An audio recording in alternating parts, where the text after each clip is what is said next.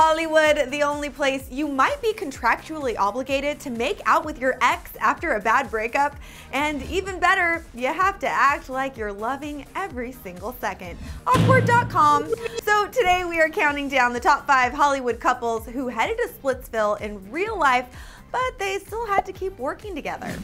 At number five is Derena, as in Dan and Serena from Gossip Girl, as in Blake Lively and Penn Badgley in real life. How could we ever forget the first time we saw Lonely Boy spying on Serena at the train station? That said, we weren't too surprised when life imitated art and this pair took its love to the real world. Looks like we finally found common ground. However, all good things must come to an end, as did this pair's real life romance. They broke up in 2010 after three years together. And you know what happened after that? Well, Blake Lively started dating and got engaged to Ryan Reynolds. Yeah! And then, well, Blake and Penn's characters, Dan and Serena, oh, no big deal. They got married on the series finale of Gossip Girl. Talk about awkward. But according to Penn, they were total professionals. So are they still friends? Well, not so much. Penn said he didn't get her a wedding gift. No five-star restaurants. No town car. Moving on to number four is a couple that's still living out their love via the small screen, despite the fact that they called it quits last year. We've got Nina Dobrev and Ian Somerhalder. The couple who met on the set of their hit show, The Vampire Diaries, tried to resist their urges for a real-life relationship, but alas, they caved into their romantic desires, and then they went on to date for three years. Uh. Uh, uh. And then, just as their characters Damon and Elena broke up in TV land, this pair broke up in real life. But guess what? Oh yeah, they are still forced to make out and sometimes do even more on TVD. But it's all good in the hood for these two awesome people. They even publicly poked fun at the situation at this year's People's Choice Awards. This is crazy. You believe this is almost five years in the making? You're right, yeah. But you know, I think what's crazier though, Ian, is that at the beginning of the show, Elena actually hated Damon. You were hooking up with my brother. Well, you killed my brother. Then eventually she fell in love with me. And then we started dating on the show. We started dating in real life. And then we broke up in real life. And yet our characters are still dating on the show. It's a good thing it's not awkward.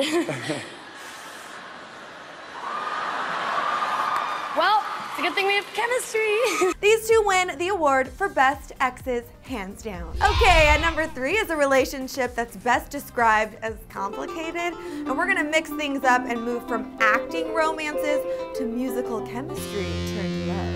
Right now, we're talking Paramore's very own Hayley Williams and her former band member and beau, Josh Farro. Hayley and Josh are believed to have dated from about 2004 to 2007, and the breakup was supposedly behind the band canceling tour dates in 2007. But they stayed together as bandmates in Paramore through 2010, and that is when mayhem pretty much broke loose and Josh posted a blog basically saying the band was manufactured and a product of the record label, adding that the bandmates were simply, quote, riding on the coattails of Hayley's dream. Hayley said that the day the blog came out was the worst day of her life, so I think it's safe to say they probably don't really do barbecues or hang out anymore. Plus, Josh started a new band, he got married, and Hayley is still killing it with Paramore, and she has got a man of her own, Chad Gilbert from New Found Glory. In the runner-up spot at number two is a couple whose breakup, it pretty much rocked the world.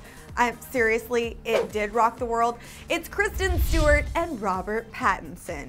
These two made dreams come true by taking their Bella, Edward, Twilight Saga romance into real life. And come on, who can blame them? They were cast as a couple because they obviously have the hots for each other, right? This doesn't work. I trust you. Well, after years of dating, we all know the story. Kristen was photographed kissing her Snow White and the Huntsman director, Rupert Sanders.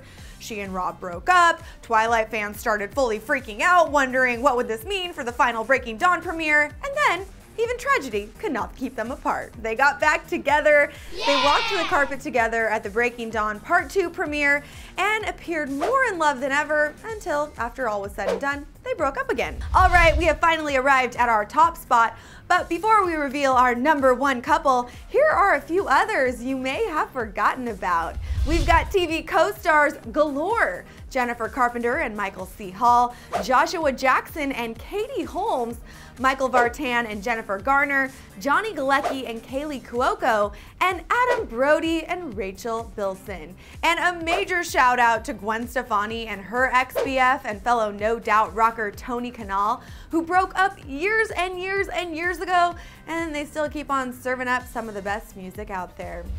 Okay, time for number one, and perhaps the most professional working pair of all time. We've got Chad Michael Murray and Sophia Bush. Not only did these two date after hooking up on the hit show One Tree Hill, they actually got married, and then, very unfortunately, five months later, they divorced. I was afraid of getting my heart broken again. Like before. And then they went on to appear on several more seasons of the hit show together. How someone does that, I'll never know. Now, not only that, Chad went on to start dating crew member Kenzie Dalton and ended up proposing to her before his divorce from Sophia was even finalized. Now, to be fair, Sophia ended up having a long-term relationship with another One Tree Hill alum, Austin Nichols, and as I mentioned, Sophia and Chad went on to work together through season 7 when Chad left the show, which honestly might just be the most professional accomplishment of all. Yeah! Wow, so there you have it guys. I want to know, was there a couple on our list that you forgot about? Or maybe there's a pair that you're still hoping will get back together? Hit the comment section to weigh in and click right on over here to see another top five that will blow your mind. We are talking couples you forgot ever existed. Believe me, it is awesome. And guys, don't forget to subscribe. I'm Joslyn Davis at Clevver TV headquarters. Thanks for watching and we'll see you later.